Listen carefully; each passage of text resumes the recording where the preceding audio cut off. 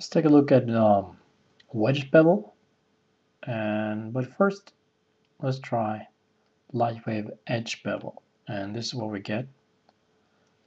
But that's not what we want.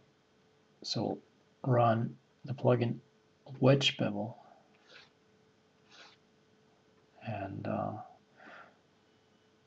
there's a there's a result and you can see that it retains these angles so that's good um, again let's try um, Lightwave edge bevel. And it does something funky so no that's number one. Let's try wedge bevel. And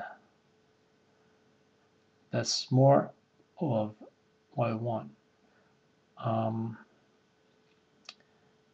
in this case though, you will probably want to use a uniformness of 100% instead and, and um, use the distance.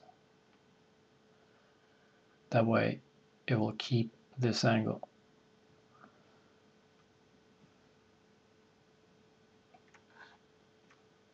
and um, let's go for this one. And try Lightwave edge bevel.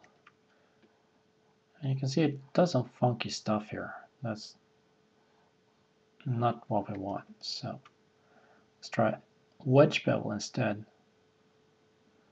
And that's more like it